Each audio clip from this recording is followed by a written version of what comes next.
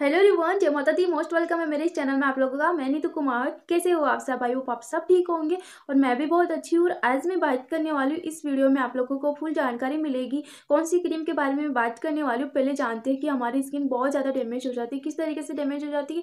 जैसे acne pimples की वजह से या फिर किसी छाइयाँ और एक्जिमा या फिर मिलाजमा की वजह से पिगमेंटेशन वगैरह, ये सब हो जाते हैं। कभी रेडनेस वगैरह, कभी हमारी स्किन पर किसी ना किसी तरीके का दाग धब्बा हो जाता है स्कार हो जाता है। उसको कैसे ठीक करें?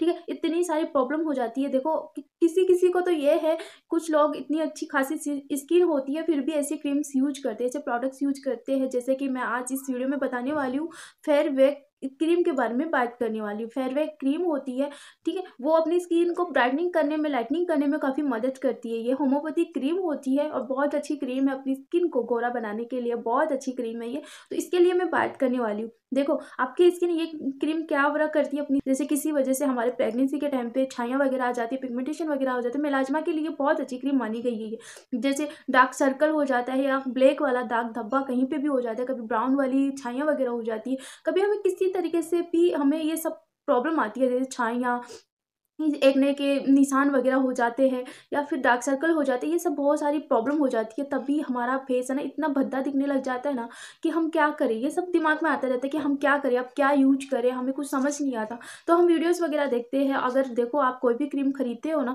उससे पहले आप डॉक्टर की सलाह लेकर स्किन वाले डॉक्टर से पूछ के फिर बाद में खरीदा करो। ऐसे मत खरीदा करो, क्योंकि अपनी स्किन है ना, हम देखो किसी तरीके से एकने पिम्पल्स हो गया ना, तब तो हम लाखों वीडियोज़ देखते रहते हैं, काफ़ी जानकारी लेके फिर बाद में खरीदा करो। ऐसे मत खरीदा करो। अगर आपकी स्किन सांवली है तो उस स्किन को गोरे होने के चक्कर में मत खराब किया करो। अब ये क्या है? ये क्रीम क्या करती है? अपनी स्किन को ब्राइटनिंग करने में काफ़ी मदद करती है। फेयरवेक क्रीम है, वो अपनी स्किन को ब्राइटनिंग करने में बहुत ज़्यादा मदद करती है और बहुत अच्छा रिज़ल्ट भी देती है। ये कहने को मैं कह तो रही हूँ ये सब। इसमें क्या क्या कंपोजिशन है? कंपोजिशन कंपोजिशन जानना बहुत ज़्यादा ज़रूरी होती है, क्योंकि ये अपनी स्किन को डैमेज करेगा कि नहीं करेगा? ठीक है? तो कुछ टाइम तक लोग, काफ़ी लोग इसको गोरे होने के लिए यूज़ करते हैं तो मैं एक ही सलाह दूँगी अगर आपकी स्किन पे डार्क सर्कल है, पिगमेंटेशन वगैरह एक्जिमा मिलाजमा, जो भी प्रॉब्लम है आपकी स्किन पे, छाया, कहीं पे भी है, आपका दाग धब्बा है, एकने की वजह से काले काले निशान रह गए हैं तो उसी जगह पे आप इस क्रीम का यूज़ कर सकते हो। बहुत अच्छा रिज़ल्ट देगी, कितने दिन में देगी, किस तरीके से लगाना है, क्या इसके साइड इफ़ेक्ट भी होगा, कितनी प्राइस की मिलेगी, ये सब बहुत सारी बातें होती है, बहुत सारी जानकारी होती है इस क्रीम के ज़रिए, इस ट्यूब के बारे में तो वो सब मैं आपको इस वीडियो में बताने वाली हूँ। तो क्या होता है फेयरवे क्रीम होती है, वो होम्योपैथिक क्रीम होती है और ये अपनी स्किन को लाइटनिंग करती है। तो ये लाइटनिंग करती है। क्यों करती है? इसके कंपोजिशन पे तो जानना ज़रूरी है ना। कौन कौन सी इसके कंपोजिशन है? कौन सी सामग्री से मिलके एक ट्यूब बनी है?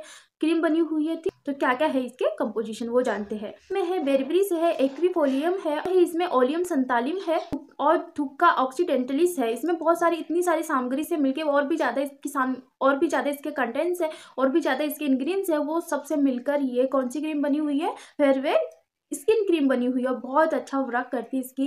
इंग्रीडियंट्स है ना, बहुत अच्छे हैं, बहुत ज़्यादा अच्छा वर्क करती है। तो किस तरीके से यूज़ करना है अपनी स्किन पे? अगर आपको ये सब प्रॉब्लम है ना छाइया वगैरह, इस सब की प्रॉब्लम है, तभी इस क्रीम का यूज़ करिएगा। आप गोरे होने के लिए प्लीज़ इसका यूज़ मत करिएगा। मैं मानती हूँ ये स्किन को ब्राइटनिंग करने में काफ़ी मदद करती है, लेकिन क्या होता है, ये सब प्रोडक्ट आप यूज़ करते हैं ना, तब तक तो आपकी स्किन बहुत ज़्यादा गोरी हो जाती है। फिर बाद में आपको यूज़ करने के बाद, छोड़ने के बाद आपकी स्किन बहुत ज़्यादा ख़राब हो जाती है। तो मेरा मेरा तो कहना यही है कि अगर आपकी स्किन में किस तरह की प्रॉब्लम हो रही है, तभी ऐसी प्रोडक्ट्स यूज़ किया करो, नहीं तो मत यूज़ किया करो। घर पे अगर गोरा होना है तो घर पे बहुत सारी चीज़ें हैं। किचन में अपने किचन में बहुत सारी चीज़ें हैं तो उससे ही आप अपने घर पर ही अपनी स्किन को चमका सकते हो। ठीक? अगर छाइयाँ वगैरह है डार्क सर्कल है तो आप इस क्रीम का यूज़ कर सकते हैं। किस तरीके से यूज़ करना है, वो बता देती हूँ। ये आल स्किन टाइप्स के लोग इसका यूज़ कर सकते हैं। तो कैसे यूज़ करना है? पहले आपको क्या कर दिन में करना है, कि नाइट में यूज़ करना है? तो आप ओनली नाइट में यूज़ करना है, क्योंकि आप इसको डे में भी बताया गया है कि आप इसको डे में भी यूज़ कर सकते हो, पर मैं ओनली नाइट में भी यूज़ करने के लिए बोलूँगी। क्योंकि डे में क्या होता है, आप धूल मिट्टी में घूमते हो, धूल मिट्टी से अक्सर अपनी स्किन और भी ज़्यादा चिपक जाती है, और अपनी स्किन पर चिपक जाती है धूल मिट्टी, और और भी ज़्यादा प्रॉब्लम हो जाती है। इसलिए धूल मिट्टी में घूमने से अच्छा है, आप ओनली नाइट में यूज़ करिएगा। कैसे यूज़ करना है? अपने फेस को अच्छे से क्लीन करना है, गुनगुने पानी से करना है, ज़्यादा गर्म पानी से भी नहीं करना है, ज़्यादा ठंडे पानी से भी यूज़ नहीं करना अपनी स्किन पे। तो अच्छे से वॉश करके उसको क्लीन करके फिर ड्राई होने दीजिएगा, फिर बाद में इस क्रीम को अप्लाई करना है। आँख नाक, मुँह से दूरी बना के अप्लाई करनी है, जहाँ जहाँ पे आपको प्रॉब्लम है वहीं पे लगाना है। ठीक है, पंद्रह बीस दिन तक आप इस तरीके से रेगुलर यूज़ करोगे तो आपकी स्किन में अलग ही निखार, अलग ही चमक आएगी, आपके दाग धब्बे हटेंगे और स्किन में थोड़ी ब्राइटनिंग करेगा स्किन को और आपकी स्किन थोड़ी गोरी सी मिलेगी, आपको बहुत अच्छा लगेगा, अपनी स्किन में अलग ही रिज़ल्ट मिलेगा। ठीक है, इस तरीके से पंद्रह बीस दिन तक आपको रेगुलर यूज़ करना है और गर्भवती स्त्री है, वो इसका यूज़ नहीं करना है, किसी बीमारी से परेशान हो तो आप इस क्रीम का यूज़ नहीं करना। अब जानते हैं कि इसके साइड इफ़ेक्ट अगर आपको किसी तरीके से जलन, खुजली रेडे से हो गए दाने दाने हो गए रेडे से लालिमा हो गई, इस तरह की प्रॉब्लम आ गई तो इस क्रीम को तुरंत हटा दीजिएगा फेस वॉश कर लीजिएगा डॉक्टर के पास जाइएगा, उनसे ये सब बातें बताइएगा डॉक्टर आपको कुछ ज़रूर सलाह देंगे। ठीक है? इस तरीके से यूज़ करना है, पंद्रह बीस दिन तक यूज़ करना है, महीने, दो महीने, तीन महीने, चार महीने तक रेगुलर यूज़ नहीं करना। कुछ लोग क्या होता है, गोरे होने के चक्कर में तीन महीने, चार महीने, पाँच महीने तक रेगुलर यूज़ करते तो प्लीज़ ऐसी गलतियाँ कभी मत करना। और इसके साथ साथ आपको क्या करना है, पानी पीने की कोशिश करना, ज़्यादा हो सके उतना पानी, ज़्यादा पीने की कोशिश करना, फ्रूट खाना, हरी सब्ज़ी खाना, क्योंकि अगर आप घर पे ही सुंदरता करना चाहते हो, घर पे क्या होता है, बेसन में दही मिला के लगाइएगा, गोरा ही होना तो आप घर पे किचन में बहुत सारी ढेरों चीज़ों होती है, उससे आप गोरा होइएगा, ऐसे क्रीम्स वगैरह लगा के मत होइएगा तो आई होप इस वीडियो के ज़रिए आपको थोड़ी सी भी जानकारी मिली हो ना तो इस वीडियो को लाइक करना शेयर करना और मेरे चैनल को सब्सक्राइब करना, और जिन्होंने वॉच किया, उनको बहुत बहुत थैंक यू मिलते हैं नेक्स्ट वीडियो में, तब तक के लिए बाय बाय